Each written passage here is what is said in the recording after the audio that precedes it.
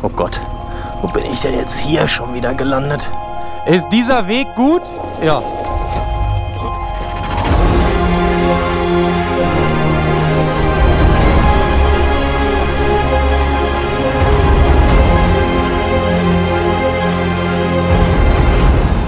Diese Sonne am Nachmittag, die gibt einem so viel Power und Energie. Das ist echt der Knaller. Und obwohl ich noch gar nicht so lange unterwegs bin, fühle ich mich schon wieder so richtig im Einklang mit meiner Umgebung und der Natur. Herzlich willkommen zur Folge Nummer 5. Einer sehr ungewissen Folge, weil bevor ich das hier aufgenommen habe, äh, gar nicht feststand, klappt das alles, was ich da mache? Zwei Dinge, nämlich einmal nach Bosnien einzureisen und dann hat mir mein guter Freund Mato noch den Tipp gegeben, nach Lukomir zu fahren. Lukomir wird auch selbst als das Ende der Welt bezeichnet. Ob das alles so geklappt hat, was ich mir da vorgenommen habe, das seht ihr jetzt. Ganz viel Spaß. Und solltet ihr jetzt überhaupt nicht wissen, um was es hier geht, dann solltet ihr euch auf jeden Fall vorher noch die ersten paar Teile angucken. Die habe ich euch jetzt hier oben in einer Playlist verlinkt. Braucht ihr einfach nur draufklicken. Also, Film ab. Nach dem Datensichern und Routeplan steige ich in meinen Schlafsack und die Sonne weckt mich früh am nächsten Morgen. Bis ganz nach oben auf den Gipfel möchte ich heute gerne fahren. Das sind nochmal gut 300 Höhenmeter. Dafür werde ich ein paar Stunden brauchen, weil der Weg ist ziemlich lang. Ich muss jetzt aber erstmal alles an Gepäck wieder aufs Bike laden und dann geht's endlich wieder los bei diesem Traumtag. Ins Gästebuch habe ich mich eingetragen. Die Fenster versperre ich wieder. Und falls mal jemand von euch hier vorbeischaut, schickt mir ein Foto. Freue ich mich, weil ich war auch schon da. Ja, wie wird so eine Hütte eigentlich zugesperrt? Tür zu. That's it. Gucken, dass sie richtig zu ist. Vietra es dinare. Und auf geht's. Ja, und ich wandere jetzt weiter. Ich fühle mich wie so ein Wanderer. Mit Sack und Pack. Eigentlich habe ich mein komplettes Leben dabei. Mehr als das, was ich jetzt dabei habe, brauche ich nämlich nicht. Trotzdem wird es jetzt wieder viele geben, die sagen, ja, du hast doch viel zu viel mit. Mit einem leichteren Motorrad wäre das doch viel besser. Ja, aber ihr müsst es mal so sehen. Ich habe zwei Koffer voll mit Technik dabei, damit ich die Videos unterwegs schneiden, die Daten sichern und die Qualität liefern kann, die ich gerne liefern möchte. Dafür brauche ich Platz. Wenn ich das nicht machen würde und ich würde nur sonst solche Tracks jetzt hier oder Routen und Strecken fahren im Urlaub, 14 Tage, ich sag's euch, dann bräuchte ich wirklich nur einen Tankrucksack. Klamotten braucht man unterwegs nicht, die hat man immer zu viel dabei. Man kann unterwegs auch mal im Waschbecken waschen, man kann auch mal Sachen ein paar Tage hintereinander anziehen. Auch wenn es warm und verschwitzt ist. Bei so einer Reise geht es sich um Luxus und Komfort wie daheim. Luxus und Komfort ist hier was anderes. Okay, jetzt muss ich mich ein bisschen konzentrieren. Uiuiuiui. Oh, oh, oh. Was sind das für geile Treppen? Am frühen Morgen Treppensteigen. Oha. Jetzt kommt aber ein böser Anstieg.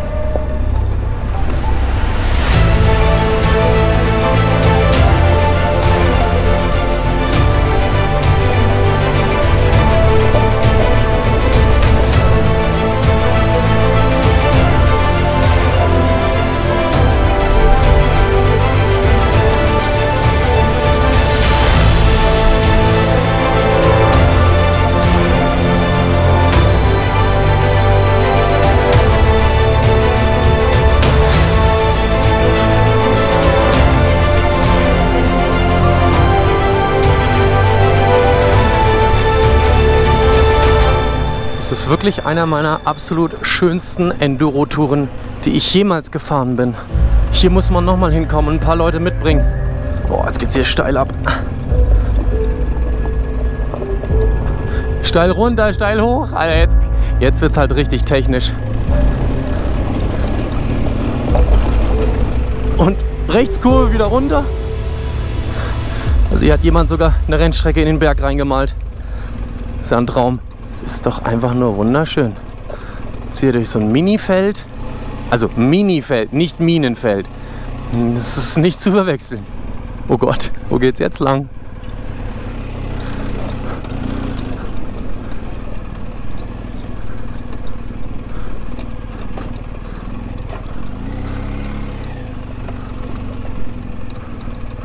Was ist das denn für ein Weg? Leute, das ist ja hier wie im Hobbitland gefühlt. Schöner kann es ja nicht mehr werden. Okay, jetzt geht's wieder hoch. Oh.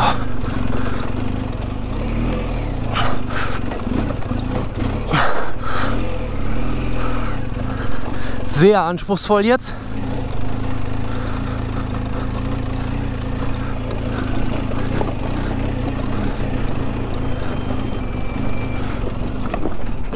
Okay, okay, okay. So, Drohne meckert schon. Akkustand niedrig.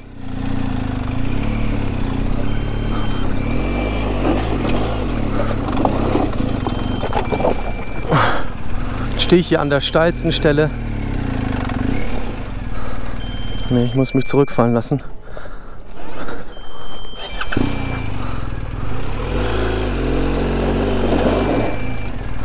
Gar keine Chance, gell?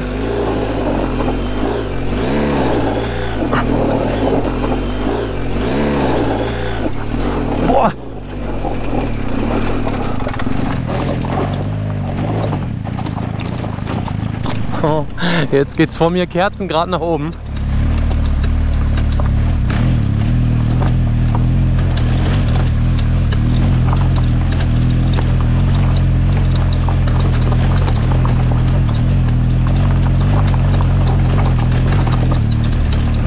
War wirklich toll zu fahren hier. Wahnsinn, hier geht's richtig hoch.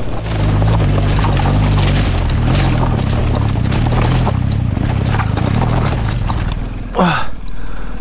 Komm schon, komm schon, Uschi. Die letzten paar Meter schaffen wir noch. Gemeinsam. Mist. Jetzt krabbe ich mich hier nur ein. Das will ich natürlich nicht. Bisschen wieder raus aus der Kuhle und mit Schwung weiter.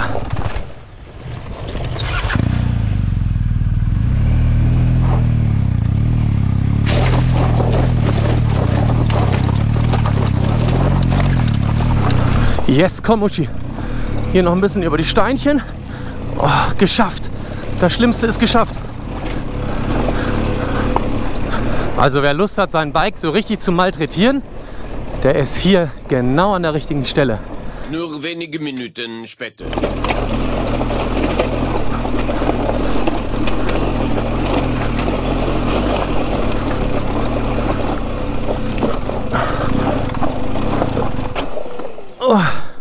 Ja, Uschi, ich glaube, das ist der Moment für eine Pause, gell? Aber wir haben viel geschafft, ne? Wir haben einfach mal ganz viel geschafft schon. Das waren, glaube ich, eben gerade 5 Kilometer, jetzt sind es nur noch 3,9. Ist ja super.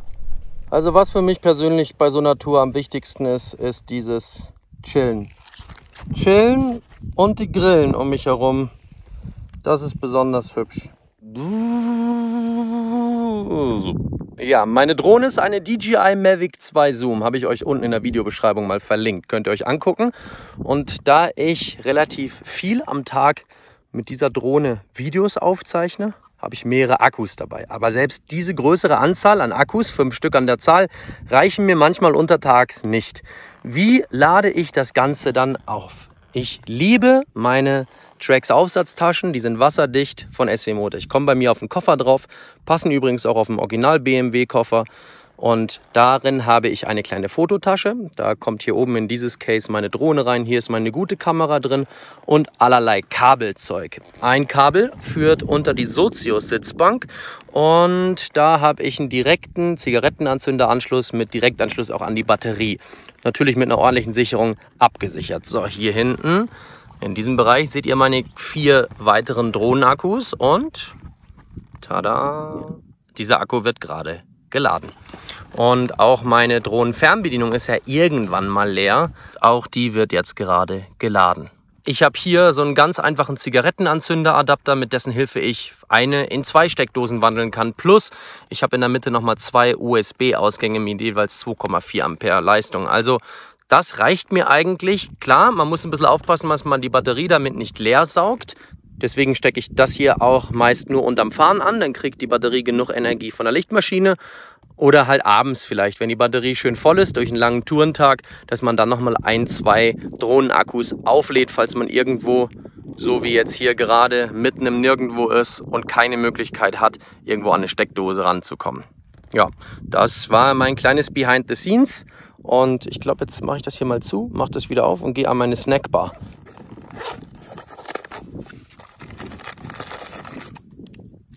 Ja, jetzt krabbelt mir irgendwas in den Rücken rein. Ach nee, das war das Etikett.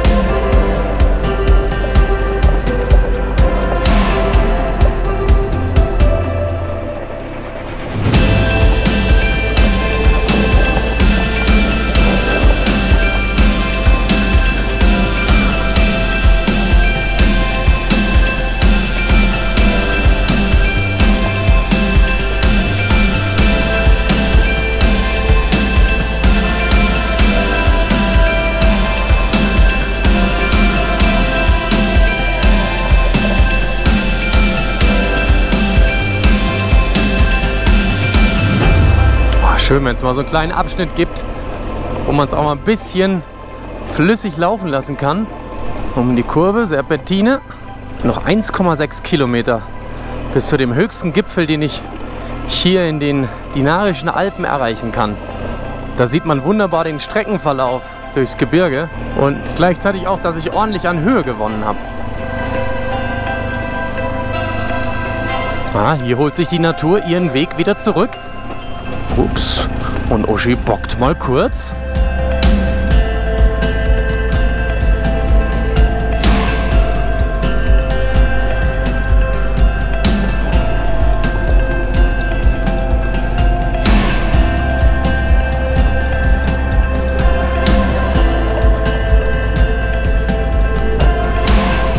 Hey, super, hier ist ja ein richtig geschützter Platz.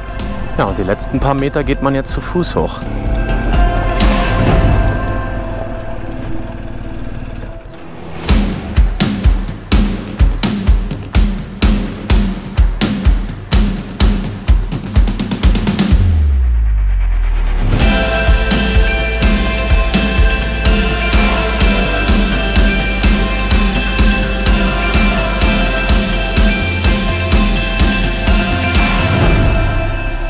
Für diejenigen von euch, die meinen Kanal schon ein bisschen länger verfolgen, die wissen, dass wenn ich über beide Ohren grinse, dass ich ein Ziel erreicht habe, welches ich mir in meinen dickköpfigen Schädel eingebrannt habe. Nämlich hier oben an einem der höchsten Punkte in den kroatischen Dinariden zu stehen.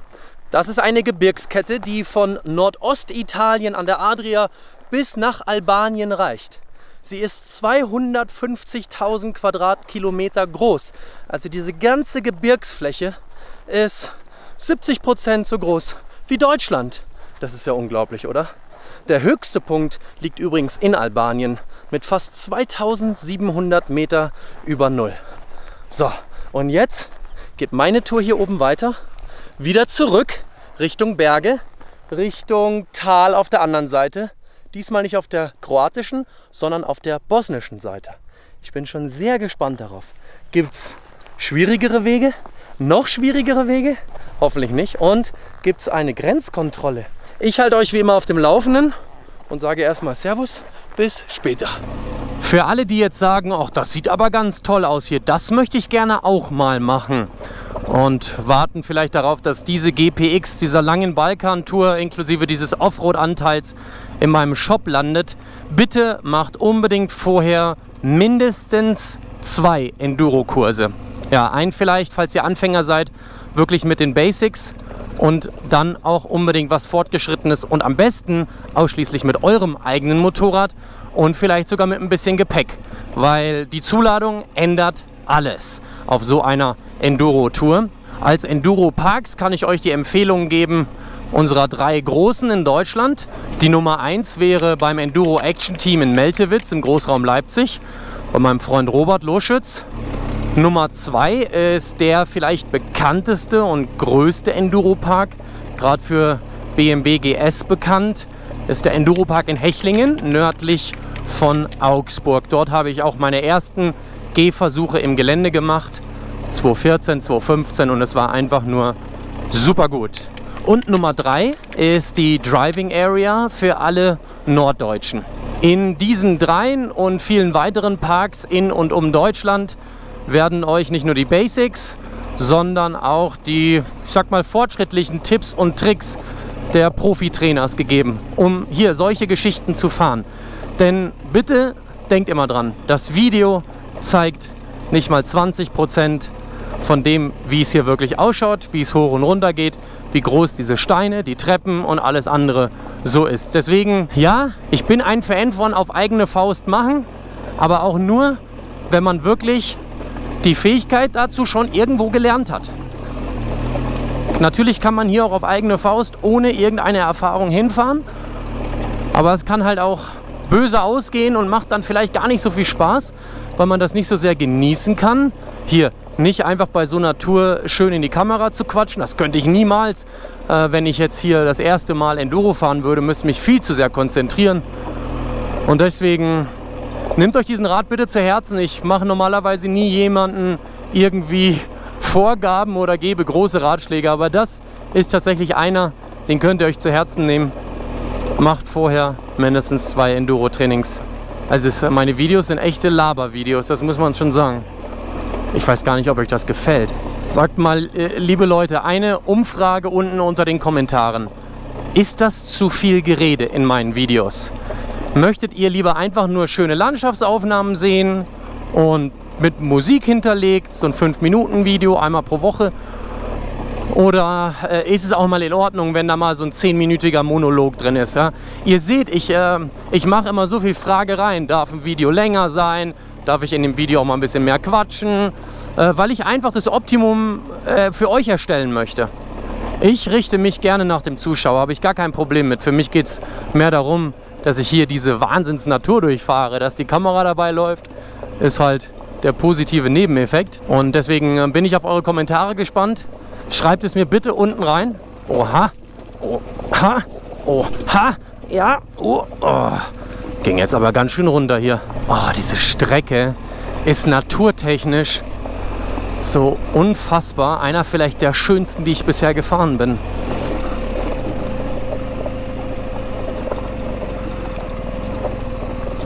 So, schön auf der Fußbremse stehen. Hier wird es jetzt nämlich steil bergab. Jetzt brauche ich vorne und hinten gute Bremskraft. Gehe auf die rechte Spur rüber. Ja, und gleich den Motor ausmachen. Ihr habt gesehen, ich habe mich einfach nach vorne wegfallen lassen. Jetzt mache ich kurze Pause. Jetzt geht SOS nämlich an. Und das machen wir jetzt aus. Indem wir einfach lange auf den SOS-Knopf drücken. Und dann wird der Notruf abgebrochen. Ja, das ist jetzt extrem steinig. Da bin ich ja vorhin hochgekommen, dann komme ich auch runter. Runter ist immer leichter als hoch für mich. Weil runter geht es auch von alleine. Die Maschine liegt jetzt auf dem Boxer und auf dem Koffer.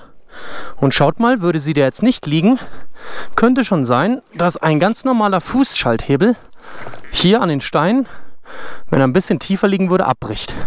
Der von SW Motec, der klappt ein. Ja, da rutsche ich hier weg.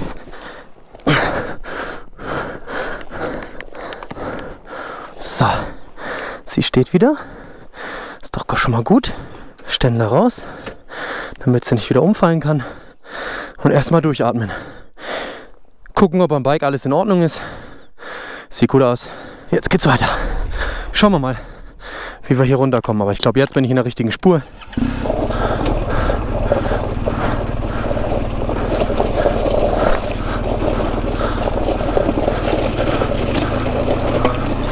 Jawohl, und wieder hoch.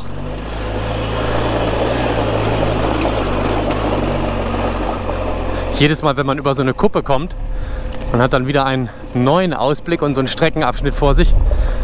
Das sieht doch einfach unbeschreiblich gut aus, oder?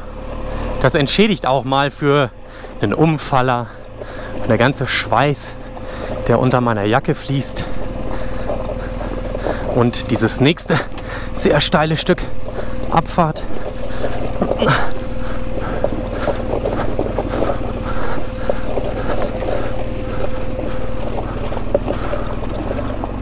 so, jetzt checke ich noch mal kurz meine Karte, wo ich denn hin muss. Bin ich denn noch richtig? Sieht gut aus, glaube ich. Mein, mein Thermometer sagt, wir haben 22 Grad. Ich fand es gestern bei 34 Grad nicht so heiß wie jetzt gerade. Ich glaube, das Thermometer ist kaputt. Oder mein eigenes Thermostat im Körper ist ein bisschen überhitzt. Kann auch sein.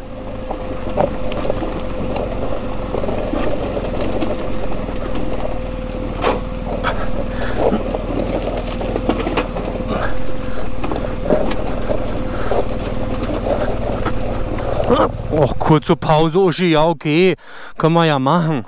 So, machen wir schon mal einen Ständer raus. Jetzt liegt da noch so ein blöder Stein. Wer hat den Stein da hingelegt? So. Ich habe mir das ja gewünscht. Arbeiten auf dem Motorrad. Wie da jetzt wieder hoch, aber erstmal unten ankommen.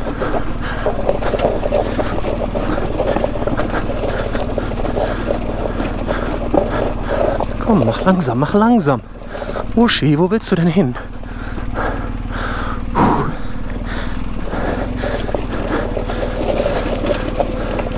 Habe ich gesagt, runter gefällt mir besser? Ah, ich glaube, hier fast fahre ich lieber hoch. Wow, wow, wow, wow, komm. Meiner Meinung nach sind wir jetzt hier schon auf dem Feldweg auf bosnischer Seite. Es ist auch immer wieder wichtig, dass man zwischendurch so kleine Entspannungsetappen dabei hat. Weil sonst wird das auf Dauer ein bisschen too much mit dem schweren Bike. Also zumindest für mich. Ich bin jetzt auch nicht so der Hardcore-Fahrer. Da gibt es ja nochmal andere Nummern. Die können das hier den ganzen Tag machen. Ich bin ja auch so ein bisschen der Genusskerl. Ich habe jetzt mal hier den weiteren Streckenabschnitt geladen und ihr seht den Vorteil an dem topografischen Kartenmaterial. Ich sehe diese Höhenlinien. Das heißt, wenn die Linien sehr dicht beieinander sind, dann geht das da wahnsinnig steil bergauf oder bergab.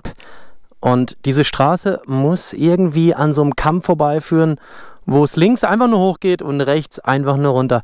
Das sieht echt wild aus. Und genau jetzt bin ich an der Stelle, wo rechts der Hang einfach kerzengerade runter geht. Jesus Christ. Und links der Berg steil hoch. Aber es ist easy zum Fahren.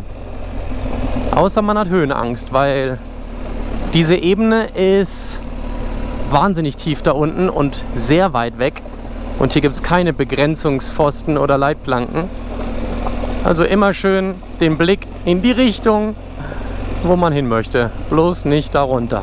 Schaut mal, jetzt fahre ich hier wie so durch so einen Urwald. Das ist jetzt hier ein ganz toller Weg. Einfach zum Fahren, aber so wunderschöne Natur. Immer links diese Wälder und Bäume und rechts immer mal wieder der Ausblick in Richtung Tal, wo es hier so tief runter geht. Ich bin ein bisschen müde und Hunger habe ich auch. Meine Schokoriegel kommen mir langsam aus den Ohren wieder raus. Ich freue mich jetzt auf ein richtig schönes bosnisches Mittagessen. Auf der anderen Seite, als ich da eben gerade ins Tal runter geguckt habe, da war da nichts. Also da war ein Bauernhaus oder sowas. Ansonsten eine Straße und sonst nichts. Ich hoffe, dass ich nicht zu weit fahren muss, bis ich dann irgendwo eine kleine Wirtschaft finde, Wir sind 956 Meter über normal. Und das hier ist das letzte Teilstück. Und dann müssten wir da unten auf den Hauptweg kommen. Das wäre es jetzt noch gewesen, wenn diese Schranke zu gewesen wäre. So, das müssten jetzt dann gleich die letzten Meter Schotter Offroad sein. Wird es jetzt etwa nochmal richtig anspruchsvoll hier, die letzten 500 Meter? Oder habe ich mich vielleicht vertan und es geht jetzt die ganze Zeit durch Bosnien hier so weiter? Auf der Route, die ich mir so vorgestellt habe? Ich dachte, das hier ist die Hauptstraße. Nee, das geht erstmal so weiter. Na gut. Kennt ihr das, wenn ihr so die letzten 10, 12 Fahrstunden nur auf Schotter und grobem Geröll unterwegs wart, dass ihr euch dann auch mal wieder auf eine schön asphaltierte Strecke freut, die einfach auch nur mal geradeaus geht? Es sind 33 Grad. Warum merke ich nichts davon? Hat mein Körper sich schon dran gewöhnt? Ab jetzt bin ich wieder in der Zivilisation unterwegs. Und zwar in der bosnischen. Und ich möchte nach Livno. In Livno habe ich mir ein Apartment gemietet für zwei Tage. Sehr günstig, sehr gut bewertet. Und dort werde ich mich wieder an meinen Computer setzen, weil ich glaube, die letzten Abenteuer hier in den Bergen, uiuiui, das wird wieder sehr viel Material für euch. So, dann melde ich mich später wieder, wenn ich im Apartment angekommen bin oder was Essbares gefunden habe, weil mein Magen, der knurrt.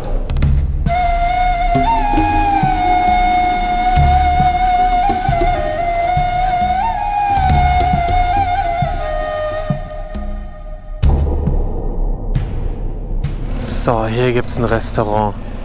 Genau das, was ich jetzt brauche. Oh, mit einer Terrasse draußen. Ich könnte mit der Uschi gleich hochfahren. Ich lasse mal hier stehen. Genau so habe ich mir das vorgestellt. Mmh. Boah, schaut mal, wie es da hinten regnet. Also wenn das Wetter hier einmal umschwenkt, dann aber volle Kanone. Und jetzt gehe ich in meine Unterkunft und pack gleich meinen Computer aus und dann wird Video geschnitten. Ich habe richtig Bock drauf. Ist das jetzt hier? Ja, wer bist du denn? Ja, ich würde ja auch gern mit dir kuscheln. Oh ja, gib mir mal die Fingerchen. Ja, gib mir mal die Fingerchen. Da kam gerade aber ein Dollarregen, gell? Hm? Ja. Jetzt gucken wir erstmal, ob ich hier richtig bin.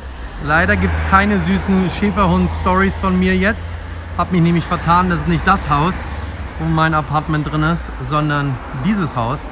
Und da unten ist auch gleich schon mein Apartment. Aber hier ist trotzdem jemand Süßes.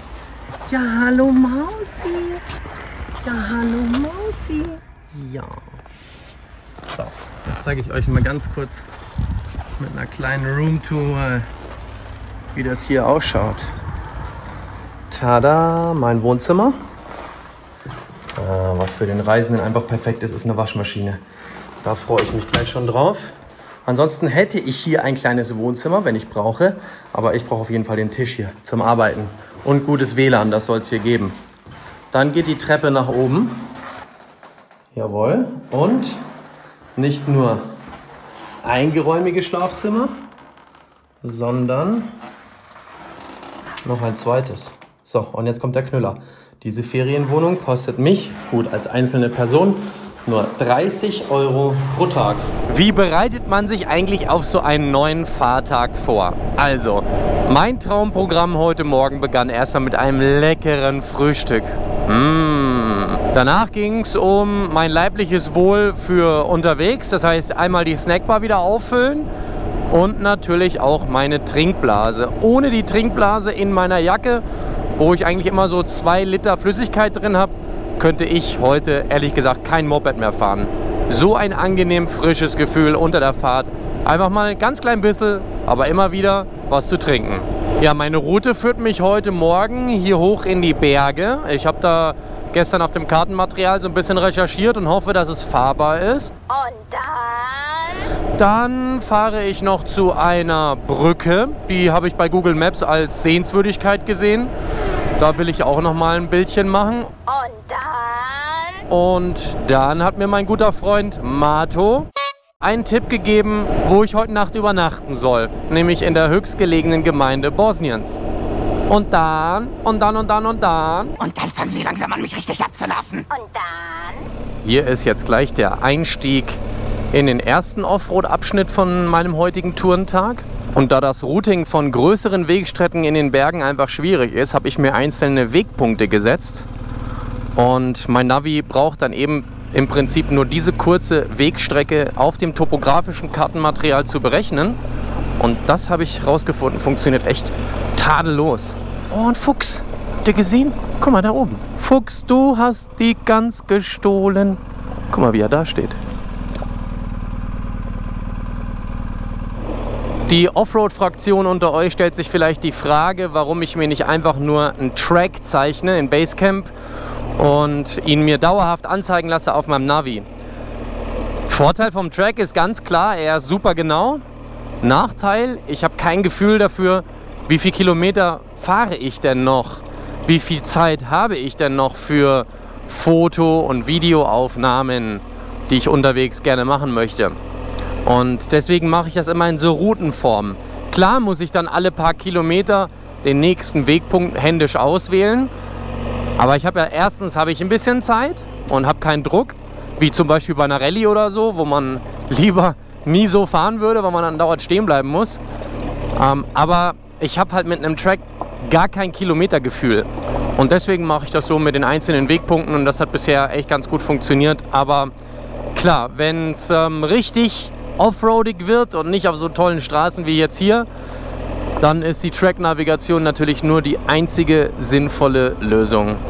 Ich werde zu dem ganzen Thema Navigation und Basecamp und Routenplanung on- und Offroad sowieso irgendwann mal ein wirklich komplettes Schulungsvideo machen, so eine Art Masterclass, wo ich wirklich von Anfang bis Ende alles einmal zeige und so ein bisschen meine Erfahrungen der letzten fünf, sechs Jahre zusammenfasse.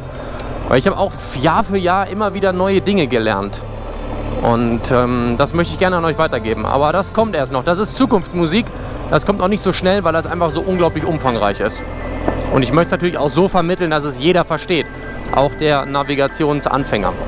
Ah, das ist hier natürlich ganz genüssliches Schotterfahren mit einem unglaublichen Ausblick. Wirkt wirklich, als wäre man ganz, ganz, ganz, ganz weit weg von daheim. Haha, geil.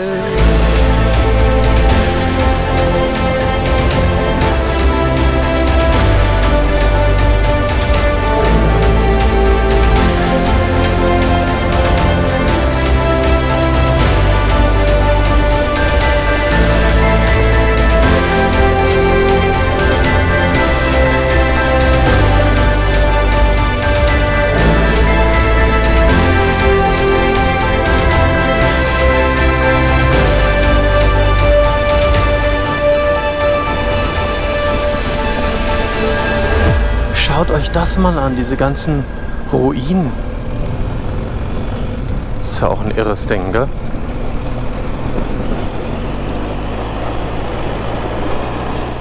Wahnsinn, guckt euch mal diesen langen, tollen Weg vor mir an.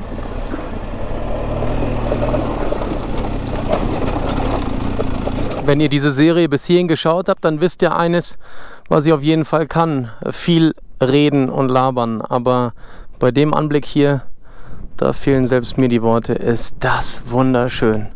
Und so anders als daheim. Das ist das, was ich eigentlich so sehr liebe. Dass es ein bisschen was anderes ist. Egal in welche Richtung man schaut. Es ist nicht nur ein bisschen was anderes, es ist extrem anders. Und ich glaube, nach diesem anderen sehen wir uns irgendwie immer alle.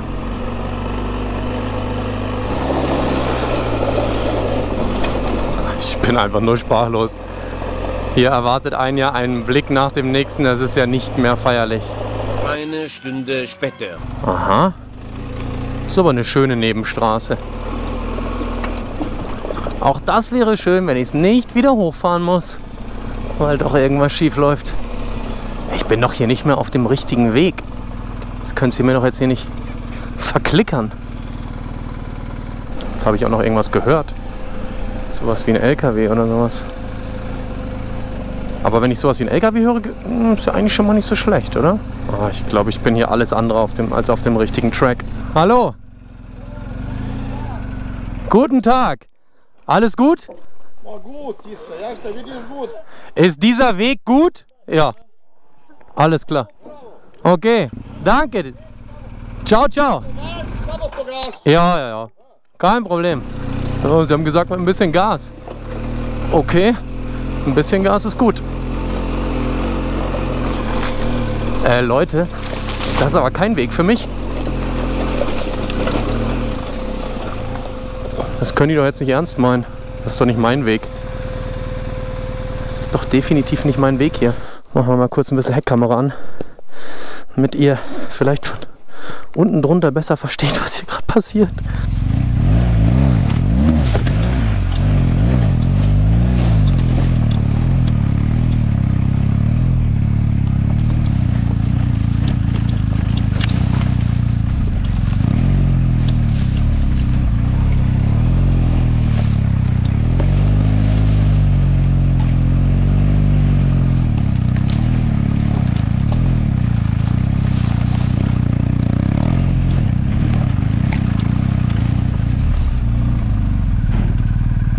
Mich das jetzt wieder gleich auf die Haupttrasse führt, auf der ich eigentlich hätte fahren sollen. Leute, hier ist gerade so steil. Hier komme ich doch nicht weiter, oder? Diese Fehlermeldungen, die hier mit Blinker kommen, liegen nur daran, dass ich keine Blinker habe mit Positionslampen drin.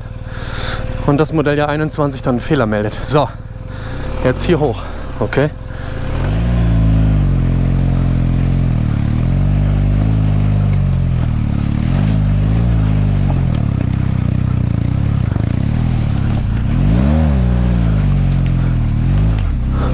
Nein, nein, jetzt fällt sie um.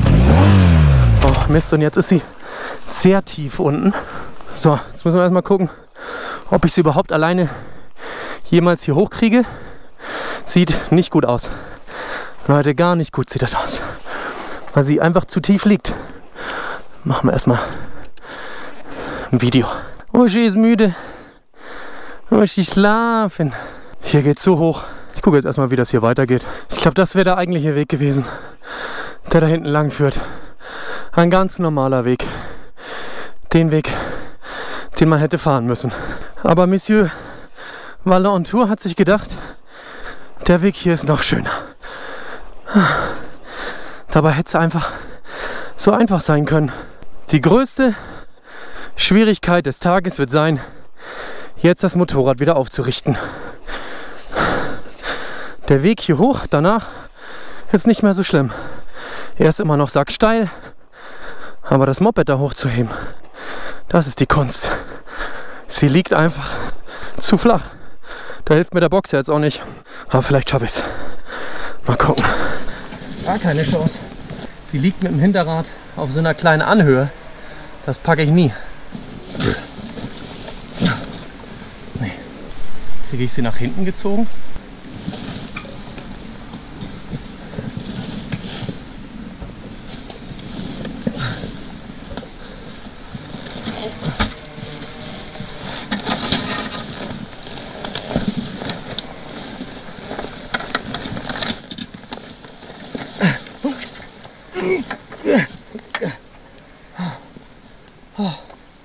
Seht ihr, wie viel tiefer ich stehe als das Bike? Oh, zum Glück habe ich lange Beine. Oha. Was ist jetzt los?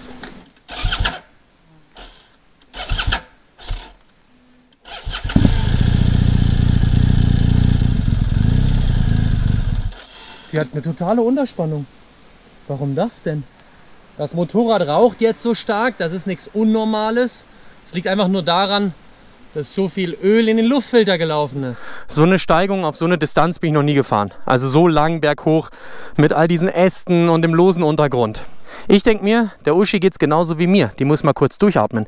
Die lag jetzt so lange auf der Seite, bestimmt 10 Minuten. Da laufen alle Flüssigkeiten in die falsche Richtung. Das Öl läuft in den Luftfilter, deswegen raucht es gleich, wenn ich sie starte. Aber zumindest geht jetzt die Zündung wieder an. Ich habe sie wieder aufgerichtet bekommen. Sie rutscht jetzt von alleine im Getriebe zurück. Das heißt, ich gehe jetzt mal zusätzlich mit auf die Fußbremse.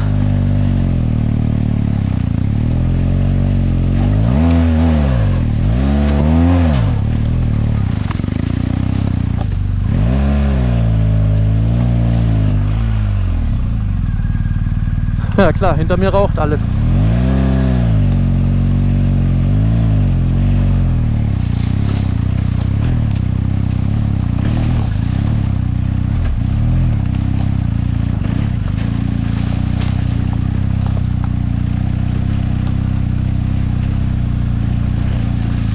Jetzt komme ich zurück auf den eigentlichen Weg.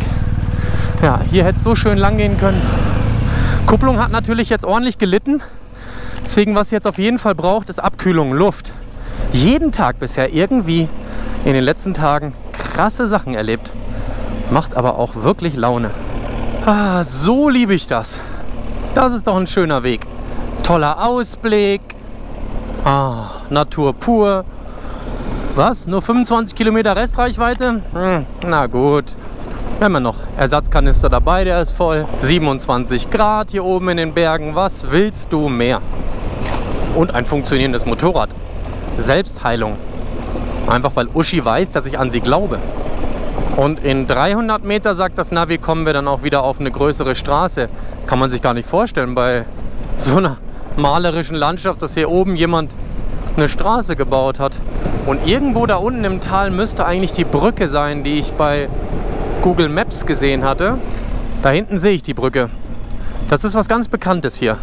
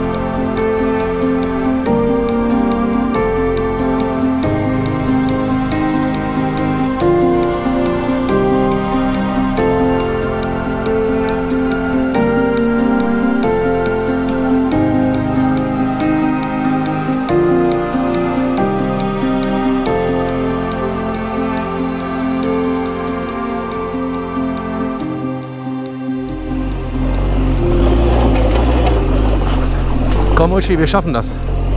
Locker. Nach so einem schönen Mittagspäuschen da sind wir doch schon wieder mittendrin. Im Enduro Eldorado Bosnien. Boah, ist das ein Steinfeld. Komm schon. Oh, oh nee, nee, nee, nee. Nee, Uschi, schaffen wir das? Wir müssen links rüber. Jawohl. Oh, was ist jetzt für eine Steigung vor uns? Mit was für Brocken?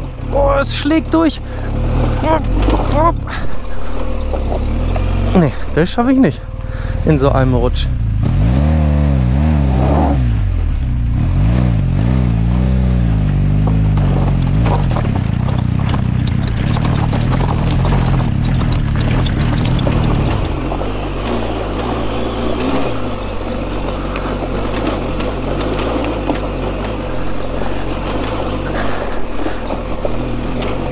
Das war jetzt ein sehr, sehr, sehr technischer Abschnitt. Und das geht auch nur mit Schwung.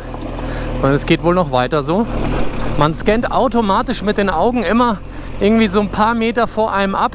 Welches ist die bessere Route? Wo ist entweder mehr Matsche und Schlamm oder wo sind die großen Steine, wo man nicht drauf kommen mag? Es ist sehr, sehr, sehr konzentriertes Fahren und macht, wenn man es dann geschafft hat, aber so eine unglaubliche Genugtuung und ist einfach dann doch ein Genuss. Ich habe übrigens nur noch so 140 Kilometer vor mir. Ja, jetzt geht es hier über diesen kleinen Weg wieder zurück runter ins Tal. Steil bergab, da mache ich lieber ganz langsam. Technische Stelle, viele Steine, ein bisschen glitschiger Untergrund. ABS regelt sehr feinfühlig, wunderbar zu dosieren. Ab und zu mal die Bremse ein bisschen öffnen, dann wieder zuzumachen. Okay, das ist jetzt wieder so fies technisch. Alter, wenn ich hier zu, zurück muss, dann ist aber Ende Gelände. Ist das jetzt wirklich der richtige Weg, ja? Ja, es gibt nur den einen. Zum Glück kannst du mit der Uschi einfach über so dickere Äste drüber fahren, weil da sagen meine Kilos hier definitiv kein Problem. Oh Gott. Wo bin ich denn jetzt hier schon wieder gelandet? Das ist aber auch der abgelegenste Ort hier, den man fahren kann, glaube ich. Ich habe mich ja am Anfang in Slowenien und Kroatien ein bisschen beschwert. Hat der ein oder andere vielleicht so ein bisschen zwischen den Zeilen rausgehört, dass das technisch nicht so anspruchsvoll ist, dieses TED-Fahren. Und der Meinung bin ich auch nach wie vor, also zumindest bei den Teilabschnitten, die ich gefahren bin. Aber ich sag euch eins, ab hier jetzt beschwere ich mich halt gar nicht mehr. Ne? Jetzt geht es eher in die andere Richtung. Könnte jetzt mal wieder ein bisschen ruhiger werden. Deswegen habe ich heute auch viel Straße geplant. Aber ich wusste nicht, dass das Gelände, was ich fahre, so ist, wie es hier ist. Es ist schon, also viel mehr brauche ich dann auch wirklich gar nicht. Aber ich beschwere mich echt nicht mehr. Liebe Straße hier in Bosnien. Ich beschwere mich nicht. Du bist echt mega anspruchsvoll. Ich bin jetzt ganz stille. Hä? Okay, laut Karte rechts rein. Ja, stimmt. Schön matschiger Untergrund. Upp, größerer Baumstumpf. Upp, kein Problem. Okay. Laut Karte müsste das jetzt aber gleich hier scharf links gehen. Ja, okay. Sind wir noch richtig. Den Weg gab es irgendwann mal. Ich muss mich konzentrieren, dass ich den Weg überhaupt noch sehe. Das ist wieder so ein Norwegen-Ding hier. Die Norwegen-Story erzähle ich euch auch noch. Das war vielleicht was. Aber gut, Norwegen ist halt Norwegen und Bosnien ist Bosnien. Das ist jetzt echtes GS Enduro-Wandern. Langsam, technisch, viele Gegenstände, die man erst auf den letzten Zentimeter sieht, dass sie vor einem liegen. Und absolut schöne Steigungen und Gefälle dabei. Ah, und jetzt einfach mal eine kleine Phase zum Durchatmen. Niemals wäre ich auf diesen Weg gekommen, wenn das nicht andere Menschen eingepflegt hätten in ein Kartenmaterial. Und schaut mal selbst, mein Navi kann das sogar routen. Schaut mal, ihr seht ja dort diese magentafarbene Linie. Das heißt, mein Navi versteht sich sogar hier als Navigationsgerät. Witzig, oder? Warum? Weil das Kartenmaterial routingfähig ist. Dieses Ausprobieren, dieses am Vorabend am, am Computer sitzen in Basecamp, sich das Kartenmaterial anzugucken und zu gucken, oh, guck mal da, die kleine braune gestichelte Linie, die geht da über den Berg rüber. Warum nicht ausprobieren? Ich meine, wenn es nicht geht, fährt man halt wieder zurück. Auf jeden Fall tausend Dank an die Jungs und Mädels, die das überhaupt ermöglichen. Und dafür liebe ich Navigationstechnik. Ja, viele sagen ja, ah, ich reise traditionell nur mit der Karte. Und das ist auch echt gut. Das ist auch völlig in Ordnung. Jeder soll so unterwegs sein, wie sie oder er es will. Äh, das hier ist nichts anderes als eine Karte. Nur ich muss den nicht aufklappen. Ich kann da einfach so machen.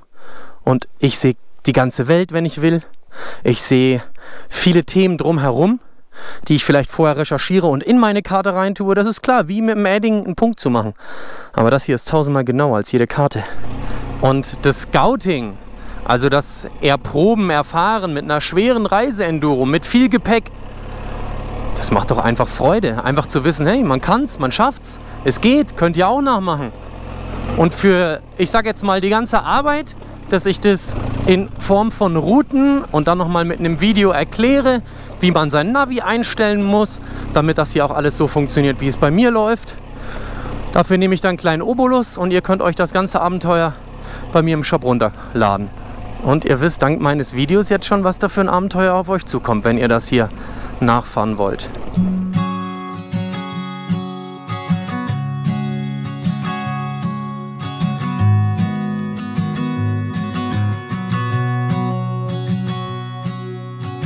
I found that photo in the sofa.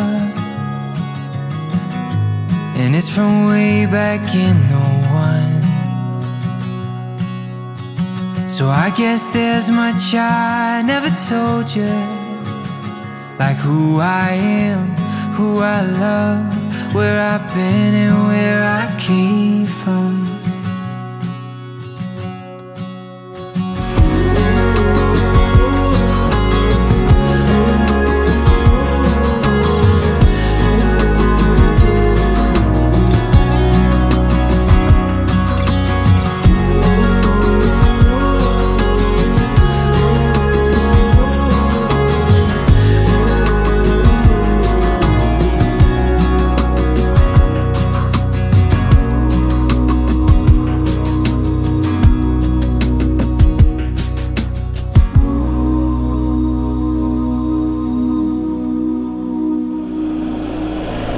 was ist das für ein toller Weg.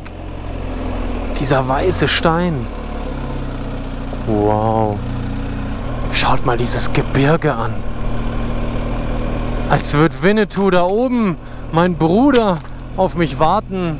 Ich hätte nicht gedacht, dass mich das heute alles so viel Zeit kostet, aber man kommt im Schnitt nicht vorwärts.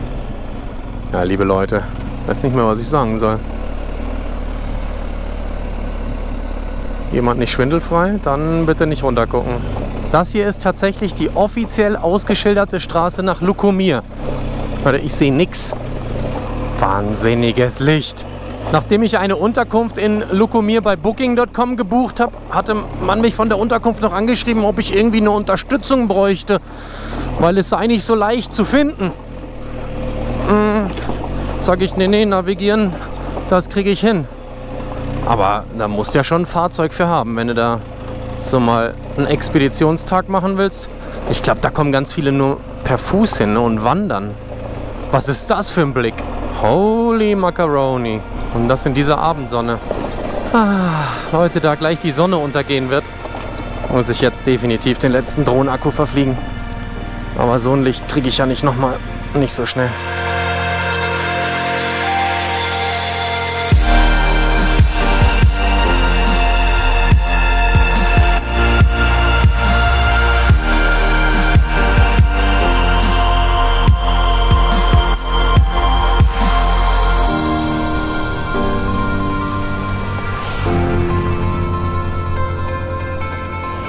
Ich bin so unfassbar gespannt, wo ich da landen werde.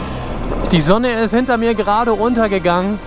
Und jetzt darf ich noch diesen Wegverlauf hier fahren. Guckt euch das mal an. Das sieht ja irgendwie aus wie, keine Ahnung, bei Herr der Ringe. Die Distanz, dieses Licht, oh, dieser Schotter, dieser Weg. Aber es ist unglaublich hier oben. Es gibt aber auch viele tolle Sachen auf der Welt. Ne? Und ich bin noch in Europa.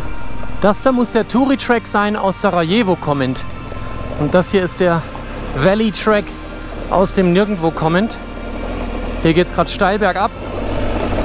Die Uschi läuft hier in den Abendstunden nochmal richtig zur Höchstform auf. Genau ein Kilometer vor Lukumir gibt es jetzt hier eine Straßensperre.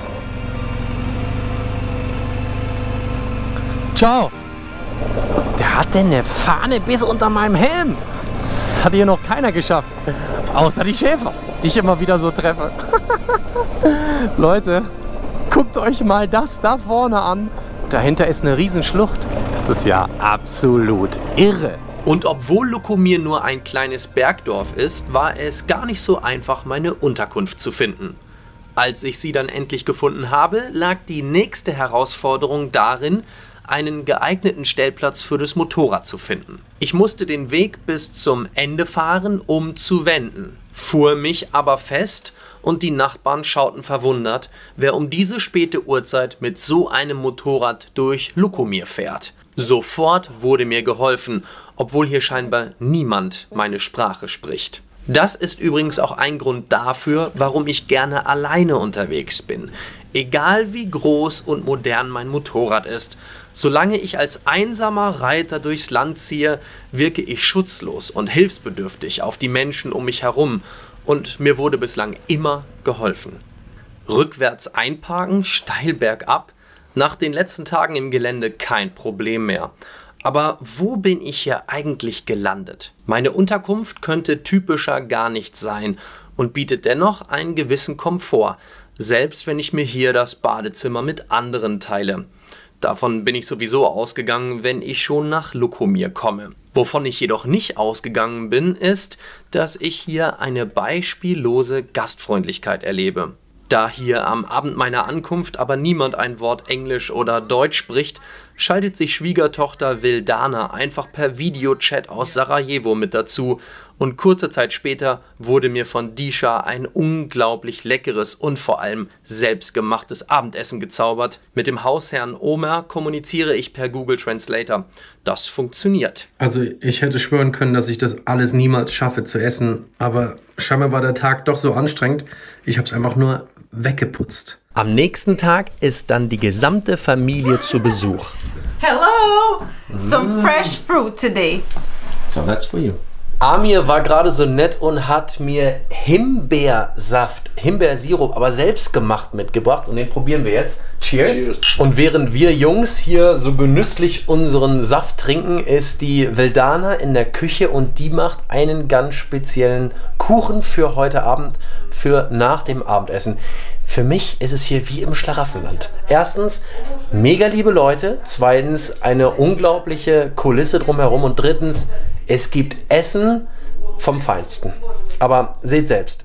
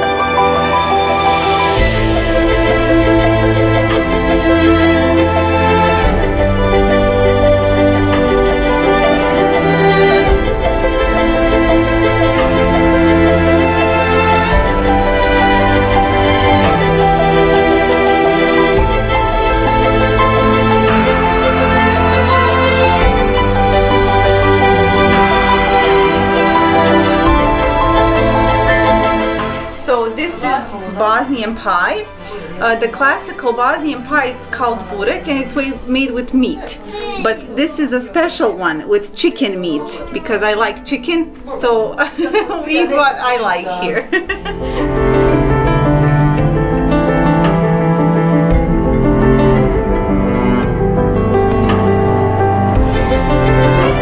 Mm.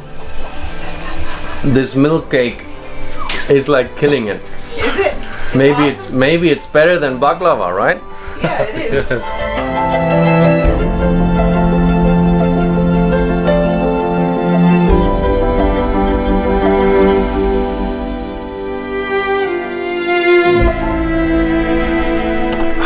Menthollimonade habe ich auch noch nirgendwo getrunken und es schmeckt einfach nur mega gut, weil das alles hier selber gemacht ist. Auch das Essen heute Abend, es war, war nicht von dieser Welt. Also das hier ist sowieso ein Ort, der nicht so ganz normal ist. Ich sitze jetzt hier gerade mit Omer. Er ist der Gastgeber hier, der mich gestern Abend mit seiner Frau so herzlich begrüßt hat und sehr gastfreundlich war. Und ich habe ihn gefragt, ob er mir ähm, ein bisschen Rede und Antwort stellen kann über diesen Ort, äh, diesen wirklich magischen Ort. Und jetzt sitzt er mir gerade gegenüber. Und Omer, kannst du mir sagen, was ist dieses Lokomir eigentlich?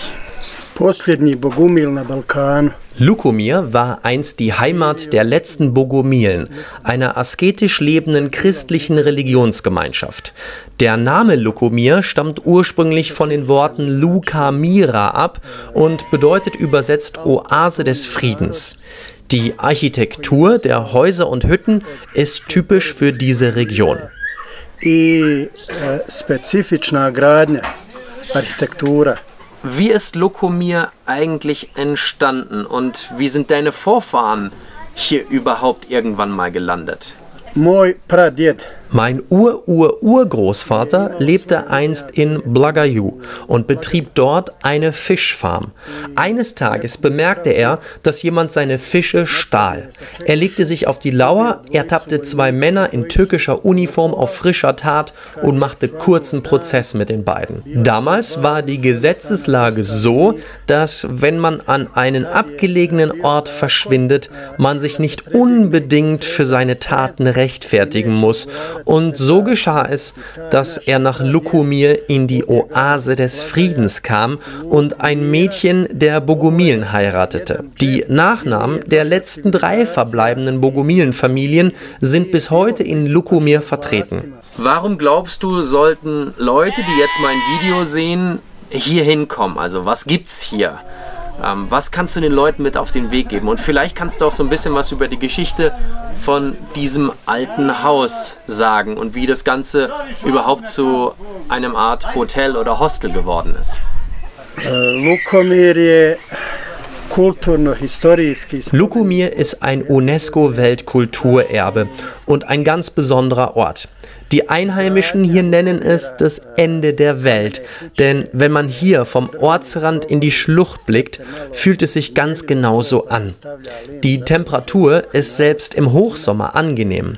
Wenn es in Mostar oder Sarajevo 40 Grad heiß ist, dann ist es hier um 10 bis 15 Grad kühler und es weht immer ein leichter Wind. Das Haus entstand Anfang der 1960er Jahre und wurde von meinem Vater gebaut. Kurz darauf bin ich darin geboren. Nachdem mein Vater gestorben war, befand sich das Haus in keinem guten Zustand mehr. Zusammen mit meiner Familie haben wir uns dazu entschlossen, das Haus abzureißen und detailgetreu mit alten Materialien von Hand wieder aufzubauen. Für den Platz, den wir selbst nicht zum Leben brauchten, haben wir Gästezimmer eingerichtet. Ome, thank you very much. Hvala. Thank you, voila. Ja, nach unserem Interview, äh, es ist so wahnsinnig hier oben, werden wir jetzt gerade noch von den Nachbarn eingeladen zu einem Kaffee. Sehr nett. Ich weiß nicht mal, wie viel der Kaffee das heute ist, aber ich mache damit. Also zum Glück nur ganz kleine Portionen. Ich glaube, ich werde heute Nacht nicht schlafen können. Aber die Gesellschaft ist so nett hier. Am nächsten Morgen führt mich Arnel das letzte Mal durchs Dorf, bevor ich mich wieder auf den Weg mache. Alle Bewohner bereiten sich auf den größten Festakt des Jahres vor, zu dem mehrere hundert Gäste und wichtige muslimische Gelehrte und Persönlichkeiten erwartet werden. Die Tage in Lukomir waren etwas ganz Besonderes und haben mir einen tiefen Einblick in das Leben am Ende der Welt gegeben. Selbst wenn ich anfangs dachte, oh je, wo bin ich hier bloß gelandet? Bye Mama. Good luck. Good luck. war es unterm Strich das wohl Beste, was mir passieren konnte. Und damit habt ihr es überstanden. Über eine Stunde Walle on Tour Action, Natur und auch ein bisschen Kultur. Ja, ich weiß, dieses Video ist mal wieder viel zu lang und mein Sprachanteil zu groß geworden, aber ich möchte euch halt mitnehmen auf diese Reise und dieses ganze Gefühl nach Hause transportieren. Und deswegen hoffe ich, dass trotz der Länge euch dieses Video gefallen hat, ihr mir einen Daumen nach oben und einen lieben Kommentar da lasst. Und jetzt möchte ich mich bei allen bedanken, die mich so tatkräftig unterstützen. Ganz besonders neben meinen Sponsoren und den vielen Shop-Einkäufern bei mir im Online-Shop bei den Walle on Tour Premium-Mitgliedern. Ihr macht es überhaupt erst möglich, dass ich mir hier 5, 6 Tage ein gutes Hotel leisten kann, mit aktueller Hard- und Software für die gesamte Motorrad-Community diese Videos schneiden kann. Danke, danke, danke an euch und an alle, die mal auch Premium-Mitglieder waren oder vielleicht noch drüber nachdenken, irgendwann mal einzusteigen. Generell gilt jedem von diesen Klicks hier unter diesem Video mein Dank, dass du dir dieses Video komplett anschaust. Vielen Dank.